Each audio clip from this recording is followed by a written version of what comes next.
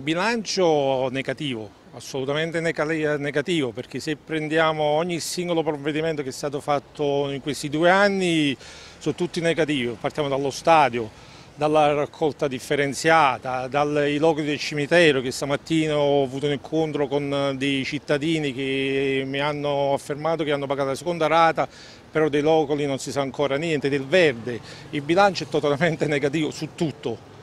L'unica cosa che posso oh, dire, quello che annunciano loro, sono i milioni che stanno arrivando in eh, città, sono tantissimi, ma vediamo se sono in grado di spenderli, questo è il eh, discorso finale. Che cosa si aspetta da questa giunta? C'è chi dice che parte del centrodestra è pronta ad entrare in maggioranza? Assolutamente no, il centrodestra sta in opposizione come abbiamo dichiarato dall'inizio, abbiamo detto che appoggeremo qualsiasi provvedimento che fa gli interessi della città, noi lo voteremo sempre, come abbiamo detto dal primo giorno, ci siamo schierati nel ballottaggio con lui per il cambiamento, ad oggi il cambiamento non, non c'è stato per niente.